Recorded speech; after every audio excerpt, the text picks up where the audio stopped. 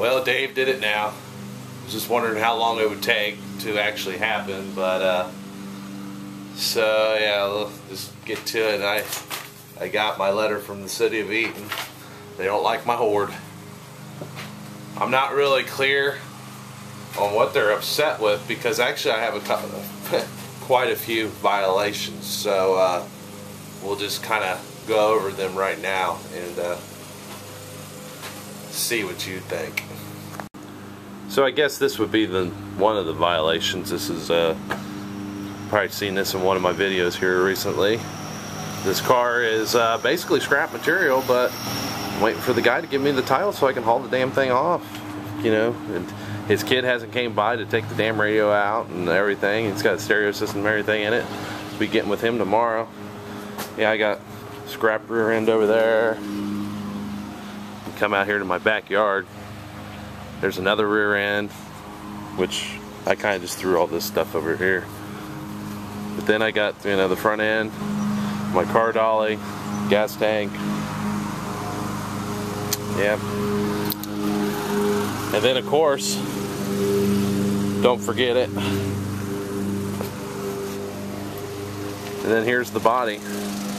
So, looks like I got like maybe 10 days to get all this stuff cleared up and hauled out. By what this letter says. Because kind of reading, uh, define junk motor vehicle means vehicle meeting the requirements of this Ohio State. Uh, it's left uncovered in an open or private property for 72 hours. Well, it's been sitting over there for more than 72 hours. And then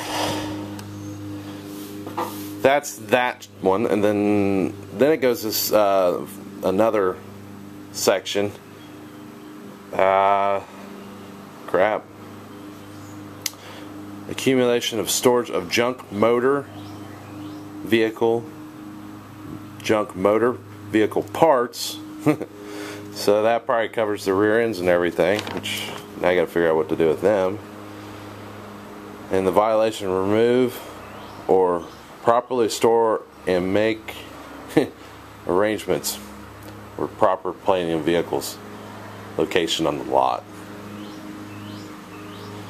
So yeah, I gotta gotta figure out what I gotta do. Hey, but I can appeal it for hundred dollars. It's non-refundable.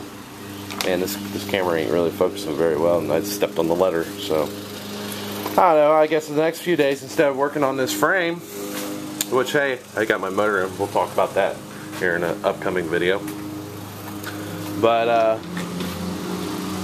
we'll most likely be. Uh, getting uh, the body out of here and stored somewhere else. Get this out of here and get all this crap put up. I can put this in my little hoard pile over here that nobody can see.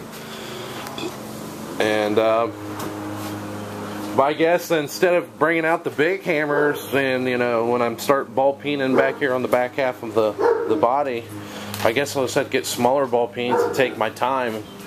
And uh, I like to see what they'll do because I'll figure out a damn way to get that car put in this garage and I'll wheel it out every damn day and fucking beat on the damn thing.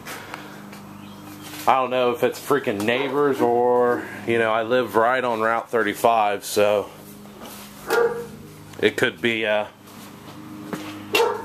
it could be uh, just a building inspector just happened to be driving by to go inspect something and uh, and seen all my viola violations because the woman did say she seen a vehicle drive by real slow a few days ago. So I don't know, but crap, a little kink in the project in the program here.